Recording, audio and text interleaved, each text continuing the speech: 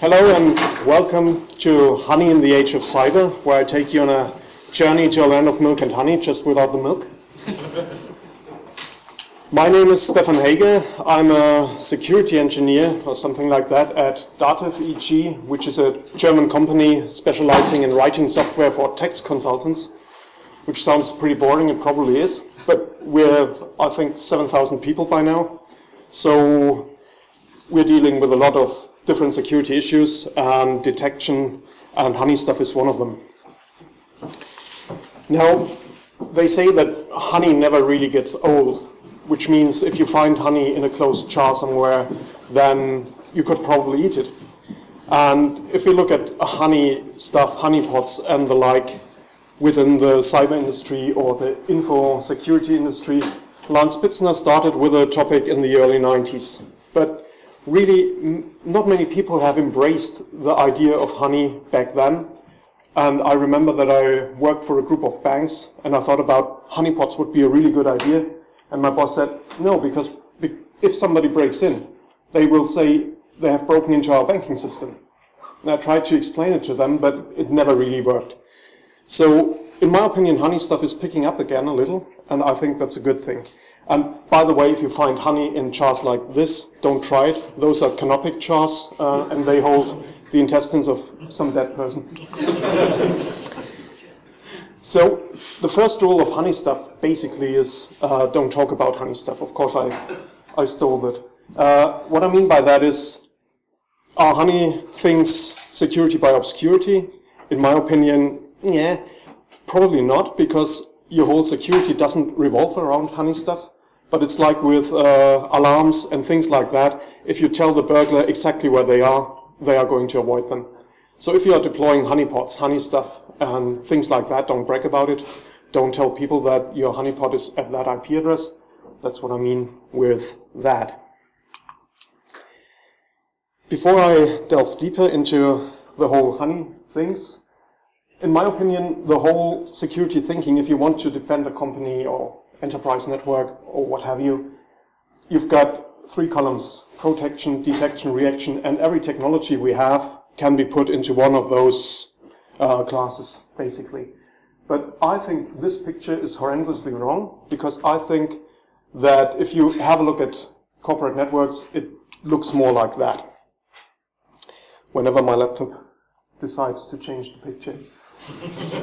so companies really focused on protection in the last few years. There are firewalls, there are many pretty boxes you can buy that you put in your network, and all the vendors will happily exclaim that they will protect your network, which is fine and which is something we really need. But on the other hand, I think uh, we don't really do enough on the detection level, and we only do a little bit of reaction. Actually, I just kept that column that high so that the security thinking wouldn't uh, go away completely. So, in my opinion, protection can only ever be a part of the solution. And a really good security solution for your company would have to be a little bit more than just protection. If you consider castles, then many companies still build higher castle walls. They make the walls from different materials, paint them green, paint them blue, but they're still building castle walls. And our attackers have evolved. They have drones, they have U-boats, you name it. I don't want to stress this uh, comparison too much. But with castles and with that thinking that I have a castle that I need to protect, then it's very, very easy to define a perimeter. It's very easy to define the castle wall that I need. And for some kind of C-level employees in the last few years, this seemed to have been uh, an easy way to feel good about security. But enterprise networks of course, are not castles. So this picture says a little bit more. If you consider this castle and the corporate network, then there will be partners you're communicating with. Maybe you are offering a guest Wi-Fi so people can connect to your Wi-Fi. People are going to work from home, from the home office and dial in. And you have site-to-site VPN to some suppliers and maybe even bring your own device policy. Um, you really can't see what's going on there. Your castle might have walls, but there are enough shortcuts and ways into your core network. So I set myself the task at some point for my company to see how many entry points we had from the internet or from any place where you could reach parts of our network. So, of course, like probably every enterprise network, we have at least one connection to the internet. That's fine. But what about out of band access? Probably have that too. Remote access for vendor support? Hmm. Remote access for home offices? Maybe as well branch offices, site-to-site VPNs, data exchange with partners, guest Wi-Fi. So what I want to say with that is if you're working for a reasonably large company, then have a look at your network and see how many ways there are to get in. And one disclaimer that, that I need to put first is Honeystuff, of course, can't do several things if you put in honey stuff into your network, it won't prevent attacks. It's, you know, it's like a burglar alert within your flat. It won't really stop the burglar, but you will get really nice threat intel from the attacker. And it probably won't give you 100% of the malicious activity. And of course, it won't stop your people from clicking suspicious phishing links, unfortunately. So, honey stuff also is only part of the solution. I'm not really here to tell you that you only need honey stuff and everything is fine, because we are working long enough in security to know that there's nothing you put in there and everything is fine. But it's a very interesting part of the solution, I think. The second rule of honey stuff, uh, and that's where we are very different from Fight Club, is that you should assume that you have been breached. Again, this is the kind of information that very often high-level employees don't want to hear because they give the InfoSec team enough money that they are not breached. But on the other hand, uh, as I said, with a flat, nobody has a problem to put in a burglar alert within the flat just to see whether somebody broke in. And it's the same with networks. So I'm going to use the infamous cyber kill chain because I thought if anybody is playing bullshit bingo, it wouldn't be complete without it. and the cyber kill chain, you all know it, and we all know it's a model, and as every model, it doesn't really fit reality 100%, but it's good enough for us. There are many studies that say that enterprises are getting aware of a breach after 100 to 250 days, and very often it's an external entity making them aware of the breach. Because that is very often in the exfiltration phase of the whole thing, and that's where you get your threat intel. And that is a bit late, in my opinion, because with honey stuff, you might be able to see that somebody is doing something within the very first phases when somebody is doing reconnaissance. So that is probably reason enough to deploy honey stuff. And if you want to deploy honey stuff, you also have to think about your attackers. There, well, there's not the attacker with uh, one level and one intent. And if you make the assumption that attackers do have different levels and different intents, then you can say we will have attackers uh, who are organized, very experienced in groups. Those are the clever ones, maybe even individuals. And we might have not so clever attackers which are bot networks, scripts, maybe people using scripts, or inexperienced humans.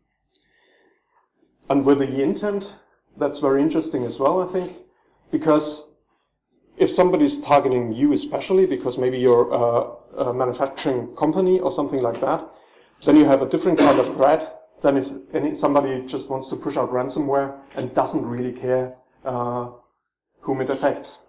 So targeting either you or everyone is another distinction. And the last thing, of course, you have to know where your attackers are. So many people, when securing enterprise networks, are really, as I said, building up walls in the direction of the internet, and they do not assume that there might be bad people on the inside. if you deploy honey stuff on the inside, to catch attackers, then you should also be aware that you need a plan what to do um, when it triggers. Because it really is no use if you find somebody who's snooping around and you can't do anything because you never really had a plan.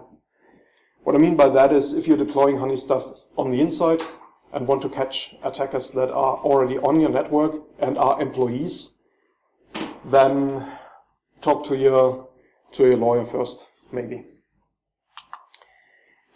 Um, that's the third and hopefully last rule I put up there. You should design your honey stuff to fit the attacker you want to catch. If you're really not concerned with anybody targeting you with ransomware by a bot or something like that, then just forget about that. Let it be handled by the firewall or any other security system. And one theme that will be recurring during this talk is uh, be creative with your with all the honey stuff you do. And I've talked about honey stuff a lot. Let's cover a few of the honeypot basics before we get to the interesting part. Not to say it's not interesting, but uh, well, I just leave it like that. So traditional honeypots look like vulnerable servers at first. But when anybody ever connects to them, it might get clear very soon that this is not a server but a honeypot, but by then it's too late because an alert has been triggered. And when I say an alert has been triggered, that means that your security team, your SOC, your whatever your team is called, gets an alert and can act upon that. It's like with a cat. That is definitely not a cat. And with honeypots, we can make a differentiation between low interaction to high interaction honeypots. Low interaction honeypots are just virtual machines residing on your network, eating up an IP address and really not needing any kind of maintenance at all, usually. Once you set them up, they are happy and they are there and do nothing and you don't have to patch them because basically you want an unpatched machine or something that looks like an unpatched machine on the network and they only go up to layer 4, so they can't really be abused. It's a little bit different for the medium interaction honeypots. Those are honeypots that simulate exploitable services like FTP, Telnet, and the like. And they are very interesting to deploy if you want to have the credentials the attacker wants to use. Because if they go into FTP and there's no anonymous login, they might use credentials that have been leaked. And so you know that there's an attacker especially targeting you and using credentials they got from somewhere. So that could be interesting. But they need a little bit more maintenance and monitoring. High interaction honeypots on the other side are machines that connect to your backend and your databases and will happily serve the attacker real data. And this is something that require lots, requires lots of maintenance because yes, you can monitor and see what the attacker wants to do. But on the other hand, if they manage to abuse that system or your honeypot system, they get all the information they want. Um, you can always say that they have one thing in common. The first kind of connection and every kind of connection to a honeypot always will trigger an alert. And that is because these machines do not have anything to offer for your business network. They're really just there to be there.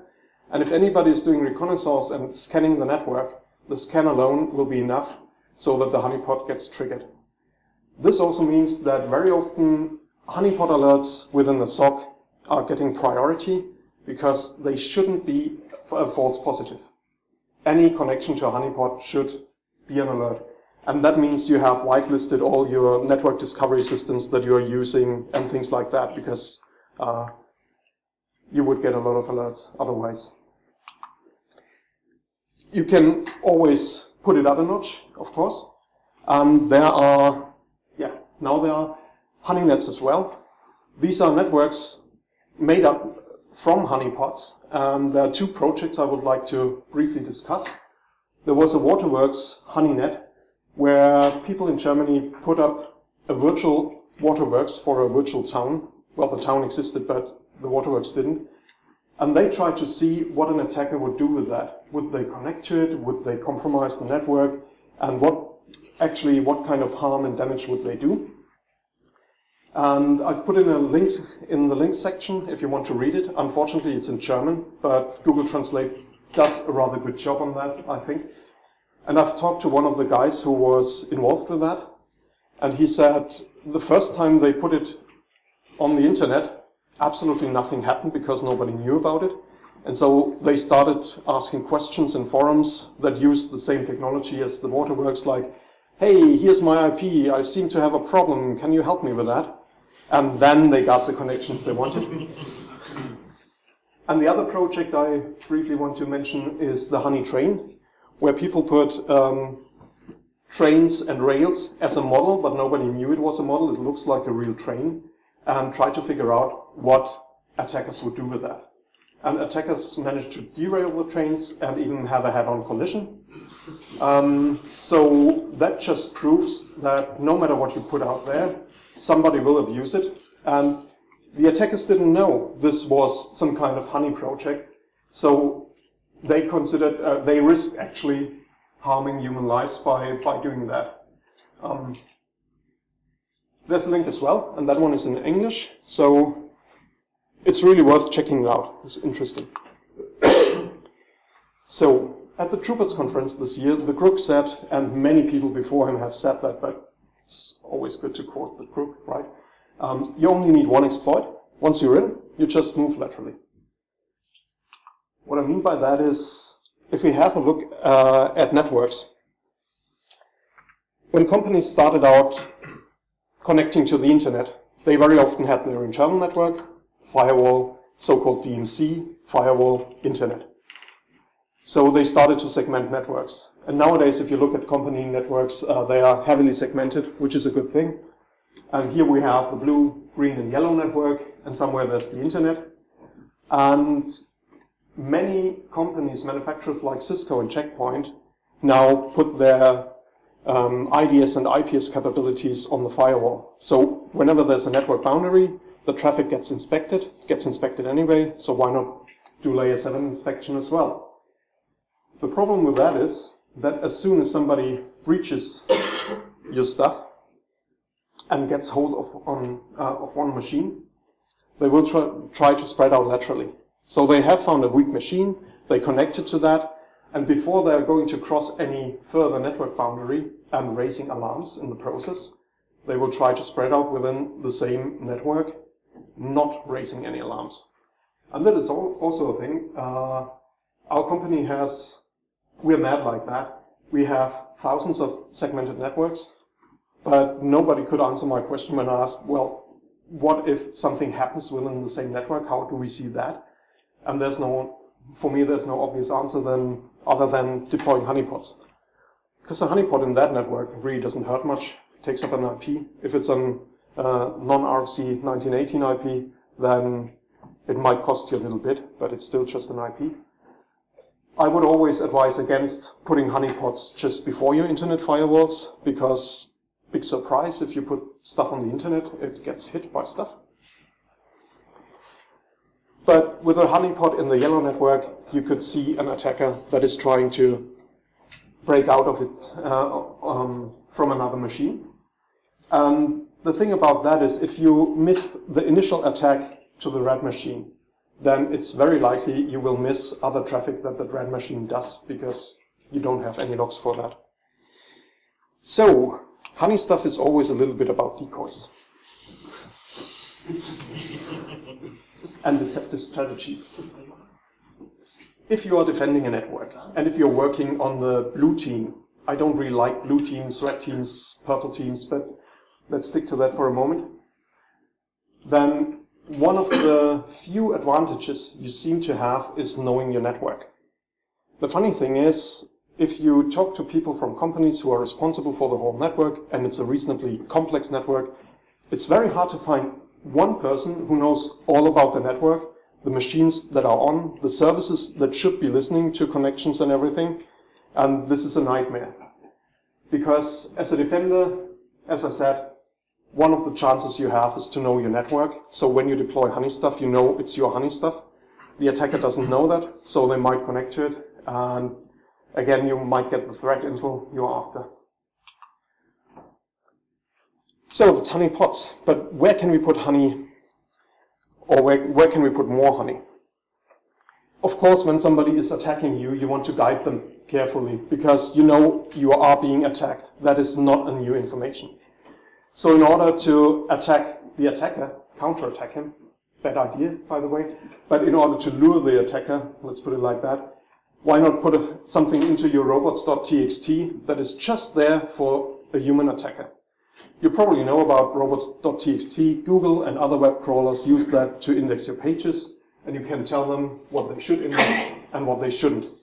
Now, if you disallow stuff and somebody's attacking you, one of the very interesting informations is what does this person not want me, uh, what shouldn't I index when I go to the web page? And so you would manually just try to get those pages. And of course, you can look at your web server logs and send out an alert. Like that, for example. There's HoneyDNS. I'm assuming here that you're not allowing zone transfers because that beats the purpose, but you shouldn't, and so I'm assuming you don't.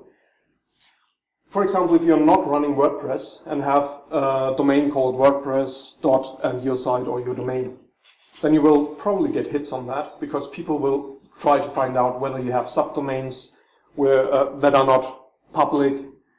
And if you have a look at your web server logs, uh, at your DNS logs in that case, you might find out that somebody is actively trying to find pages they shouldn't access. And in order to have really nice pages for them, you can, oh, sorry. Of course, you can have an about page. Everybody has an about page, right? Um, just call your about page about underscore v2.html. And people will try to see what's on v1, version 1. And version 1, of course, is just a honey page. Again, if that is triggered, that is not linked from any other page on your site. It's not public. Um, you never put that anywhere. So whoever gets v1 HTML is somebody who typed it in manually. And that is somebody who is trying to find some kind of opening on your website. If they manage to get on your routing device, your routers or whatever you use, then have a few exotic hosts on the router that are not used within your network, of course. And there are three guesses what those exotic hosts are. Either low interaction, medium interaction, or high interaction honeypot. And of course you create routes to that. So whenever your router has been compromised, you might get an information. If those honeypots get hit, you know that somebody is able to actually read your routing information within your network. Again, this is always assuming you have been breached. So if you find out about that, your day will be shitty as well. But it's that day and not a day in the future, and you've got a better chance to stop attackers in that phase, I think.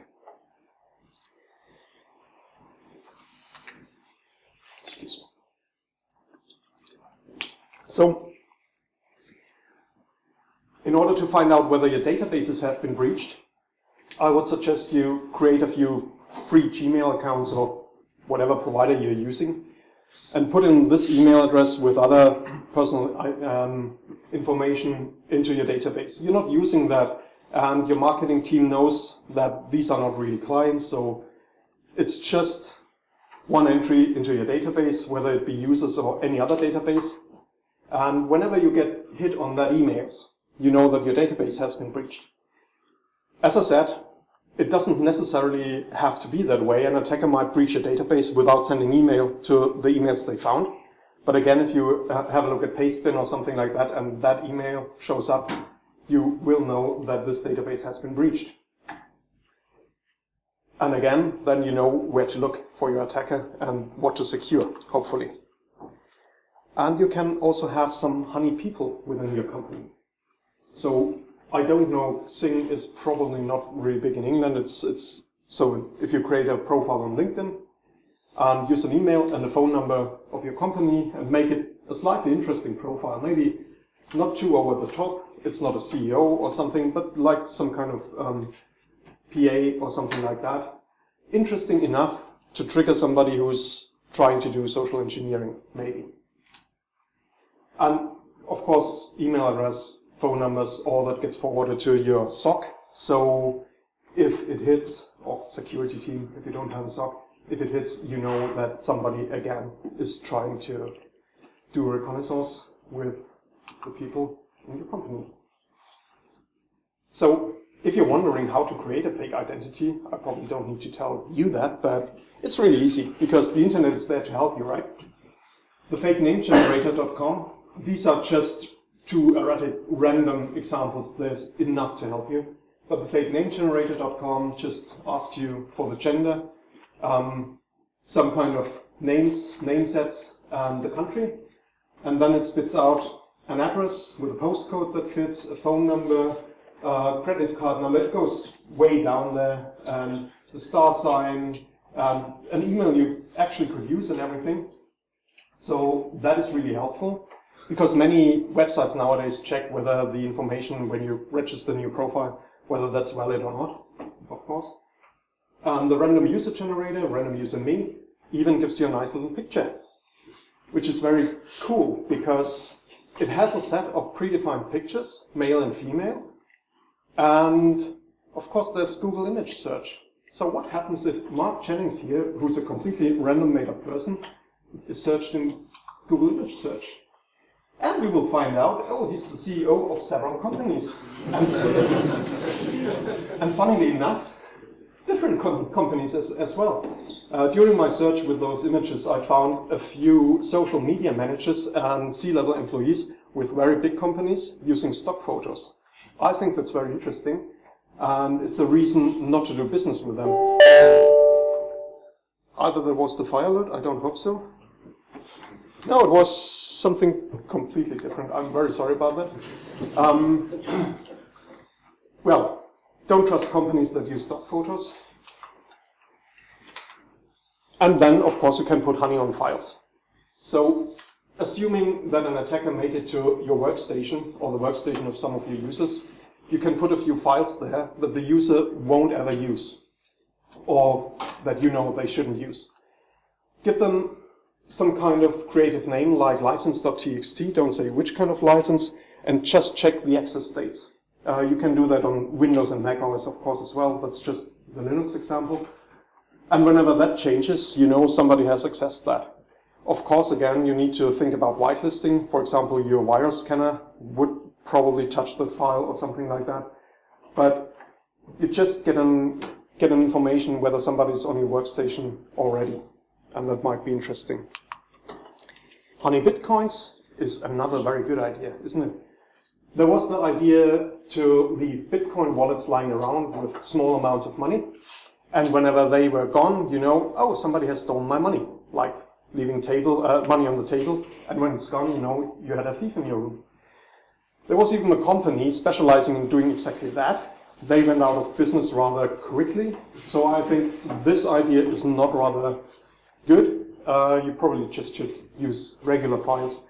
There's no need to risk bitcoins, and if you risk 0.0001 bitcoins now, you might have uh, risked a few thousand dollars later that year.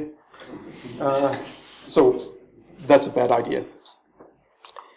Another idea that might be good for you if you're a manufacturing company is something, something very elaborate and it probably won't work, but if it works, uh, you will really feel smart. So if you have a product line, let's say called Apollo, and your last, last product was Apollo 8, then just put in sites with the same name structure for Apollo 9, just don't link them again. And on those sites have a contact form. Say, hey, if you this is our new product, Apollo 9. If you want to have more information, please leave your address here. And this sounds too obvious and too good to be true. On the other hand, if you have read Cliff Stoll's The Cuckoo's Egg, that book, that is exactly how they caught the attacker. Okay, that was in the late 80s. But I, I think if you're doing it properly, you might even score.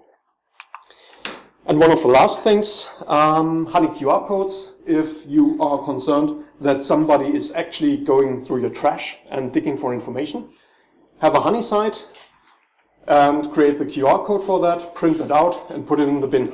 So as soon as that triggers, you know that somebody's going through your rubbish and you can put your biopus in there or something like that. What is that QR code? Yeah. Try it out. That's That's the fun about QR codes. Uh, it's really hard to read them. and it's not really confined to the virtual world. Uh, you can have honey doors as well. If you are, if you have a large factory or something like that, and you have an electronic lock, and people have electronic key cards and things like that, just put something like backup storage on a room and see who's trying to open that lock.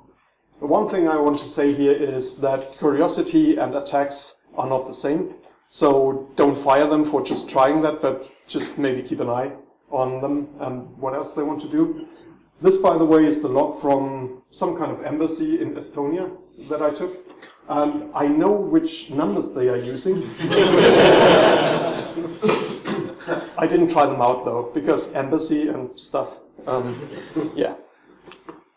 So somehow you really need to find out whether you are attacked, and you need to find out, or you need to guide them. So don't leave it to the attacker to find the weakest link. Provide the weakest, weakest link and monitor that.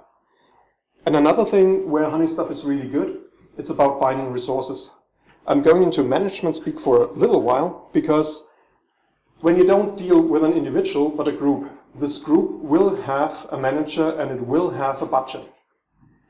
And if you manage to waste enough of their resources that the return of invest is small enough, they might look for another target. So binding resources is another thing that you can achieve with Honeystuff. That, by the way, is not even a GIF or GIF. It's just a screenshot. And so, to summarize, we can use Honey in our personal networks. We can use it on company level, of course. It can be virtual, physical. And it's always there to detect stuff and to observe an attacker and maybe to observe, um, to distract them and carefully guide them. So, the question is, should you put honey on everything? And I can tell you from, from the bottom of my heart, no. um, you should put, put honey on stuff where you can gather threat intel that is useful for you. Um, and you should be efficient with the stuff you do. Because if honey stuff requires a lot of maintenance, then it's not the right tool. Or it's not the right setting. And you, of course, should avoid false positives. So if some honey stuff reports breaches every minute, then your SOC team will do what? Ignore them as well. And you should find out what works for you and stick to that. And rule number I already had rule number one, right? That's another rule, another rule set. Rule number one, be creative. Don't be too obvious. So if somebody wanted to steal the last incarnation of Pirates of the Caribbean and went there, and when they had a closer look, they might have been disappointed. So be creative. Don't call anything that an attacker might find um, luring the script kiddie dot doc or something like that be a little bit more creative. And to put honey stuff in kind of the perspective, how you could use it. I don't know if you have dealt with a CEO fraud in the UK last year. It was a big thing in Germany and for Google and Facebook as well. There was a company in Nuremberg who got scammed out of 40 million euros. Um, that was like 120 British pounds back then, right? And this attack is very interesting because it's not technical. It's a classical scam where an employee uh, in the mid-level management maybe gets an email from their boss, the CEO, saying, I'm so sorry, but you're the most trustworthy person right now, and I'm doing a deal in foreign country X. We're buying company Z, and I really need those 40 million now, and you should transfer it. Um, of course, if you don't do it, then the deal will fall through, and everything's going to shit. So it really is a classical scam. It's a little bit more complex than what I tried to uh, convey just now, but you get the picture. And why are they targeting not any other bosses, but PAs and secretaries and stuff like that, mid-level management? It's easy because the boss very often only has a profile on maybe Xing or LinkedIn, which are job websites, and the PA might be on a few more social networks. So it's easier to create a profile and it's easier to actually target somebody like that. And for the poor employee, it's always going to shit because if it is the CEO and they transfer the money, they haven't followed proper procedure, might get into trouble with the direct boss. And of course, if uh, they do not transfer the money, then their career is over. And if it isn't the CEO that transfer the money, career is over as well. And only if they don't, then they have done the right thing, which might not always be uh, very easy. So how can you counter that? That is not a technical attack, right? But in order to counter something like that, you really need to talk to the people, and even better, let the CEO talk to the people, and so that everybody in your company knows that this is not going to happen, and the CEO will never call you or send you an email asking for money. Forward anything suspicious, and now you can can uh, up the game by just deploying honey people. We've talked about honey people briefly. That is, for example, one thing where you really want them. But just keep a few things in mind. Keep the terms and conditions of websites in mind. Many, many websites like new users, and they really love them. But if you read the terms and conditions, very often they don't like fake profiles, and it's up to you to uh, decide whether you honor that or maybe not. And of course, your HR department those are the people who really would like to know when you fire and hire people because it's their job. And even if those are virtual people and useless people, then they want to know about it. So get your company involved in that. And your honey people, of course, need to be a little bit more interesting. If they have a default profile and no profile picture, then nobody will target them for social engineering.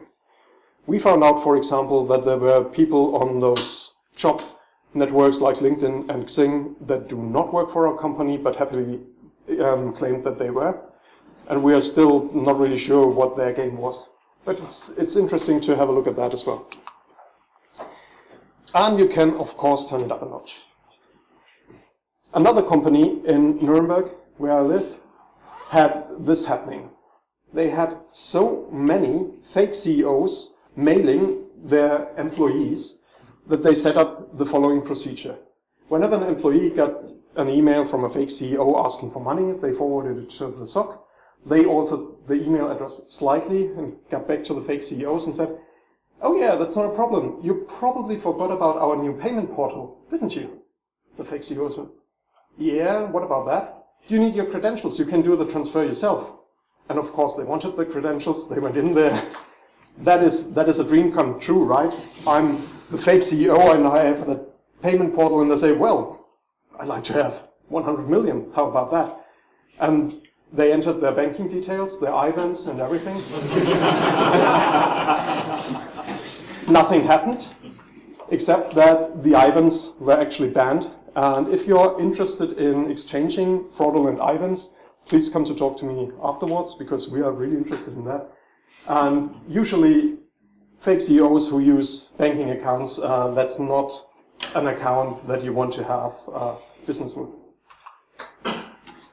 And another use case is howdy strangers. Whenever you want to guide an attacker, I want to uh, talk about that a little bit more deeply. You really need to you need to realize in the first place that every workstation has something interesting on that. Um, it might not be interesting to you, but it could be interesting to an attacker. So, for example, if you have workstations of Windows users who never use PuTTY or SSH, WinSCP, whatever, and even if they are using them, um, those kind of programs leave registry entries with known credentials, known IP addresses, and things like that. And as an attacker, if I wanted to know what that workstation or the user on that workstation um, connects to, then I probably would follow those links. And some of those links, of course, or some of those registry entries will be honeypots.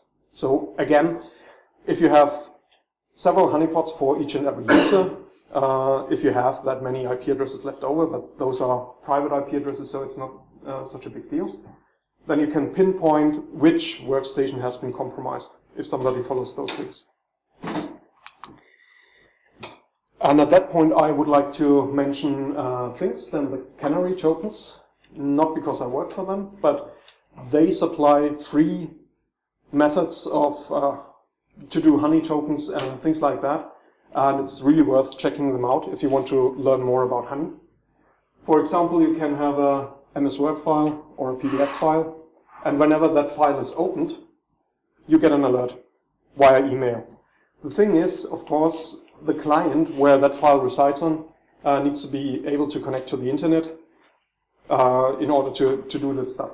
You can do things like that yourself. If you're good enough in office programming, you can put in um, macros and what have you into your documents. I find it way easier to just use honey tokens. Uh, and as I said, I'm, I'm lazy. So, and that's a good service, so I, I use that usually. Again, if you're naming the PDFs and everything, just choose something that might actually interest an attacker. They also allow you to create custom executables. So for any gamer amongst you, if you breach Steam or Valve and found an icon for Half-Life 3, wouldn't you copy it? Wouldn't you double click on it? okay, they got you, but still, it's worth it. And network folders and many other things. Whenever you create a honey token with uh, canary tokens, you give them some kind of re reminder. And whenever it's triggered, this is how the alert looks like. You get an IP address, where does it come from, when was it breached, and so on and so forth. And you get as much information about the client who opened that Word file, in that case, as you can. So you get threat intel that's really um, worthwhile, I think. So, I've also got a few selected links. Um, they are in the slides. I will put the slides online. And I just figured out that I'm slightly early, exactly eight minutes early. I don't know how that happened. But I'm happy to take any questions if you have them. Have you got any uh, statistics on um, how many people have been attacking um, computers and have been drawn into the sort of honey nets? I don't have any statistics actually. I, if you have a look at the at the project websites for the Waterworks and the Honey net, uh, the Honey Train, I think they have statistics there. I just don't know them from the top of my head. Any other questions? It's a little bit awkward because I'm I'm so early, but uh, I have to say that I'm very happy that at least I could see the PowerPoint presentation because my suitcase didn't arrive when I arrived at the airport. um, so I spent a lovely one or two hours yesterday at Doncaster buying shirts and socks. I've got socks with Beer Monster on them from Poundstone. Uh, and I reused the contact lenses from yesterday, so at least I was able to see uh, the slides. yeah. Any other questions? Um, you focus quite a lot on network um, capabilities here. Is there anything specific for endpoint in terms of uh, things that people could be using or deploying? Well, in terms of endpoint, you could try with a PuTTY and WinSCP stuff, like putting something in the registry. It needs to go somewhere because you don't really. I don't really think it's sensible to put a whole honeypot on a client machine or to just to try to merge those two together. So you always, in my opinion, need to draw the attacker away from the workstation to something that could be more interesting. And you can do that with those kind of tokens if you have some links there or network folders, for example. If the client is able to access a shared folder, mm-hmm. and that shared folder again might be a honey trap. Honeypots do something like that. Have you seen the Honeypots project? I did. Yeah, yeah. so Honeypots, you can just like a little Python script that will run on the workstation. If anyone, if they scan it, they see the ports open, it won't take any action, but if they do an active TCP connection, it'll firewall it off and it'll give you an alert about it. Have you done anything with TrapX or Canary? The yeah. actual device? I'm aware of TrapX and Canary of both, and there's a German company doing something similar as well. Uh, I haven't worked with all those solutions, but I'm aware of them. Um, this is something I, I, didn't really want to put a lot of vendors in the slides, but TrapX actually and Canary would be my first choices if I had to look at uh, a commercial solution for you. Because you can use Honeyd and configure it yourself, but it's a pain in the butt if you want to deploy it large scale, in my opinion. There's another project I thought about for conferences like that, which would be a honey trap. No, a honey catapult, I think. Um, so you have something that looks like a vulnerable machine, and attacker A scans it and attacks it. And meanwhile, you scan attacker A and open those ports for attacker B. And you just handle those packets. You don't do anything with them. You just happily let them attack each other. of course, that's not really legal, so I never really got around to do that. but it's an idea. And that's, I, I think, the whole point of it, to, um, if there are no more questions, just if, um, if you take away the thought that it's more important to be creative than to be 100% accurate, uh, that or give 100% protection. That is something you should bear in mind, I think. Okay, more questions? Thank you. Oh, yes.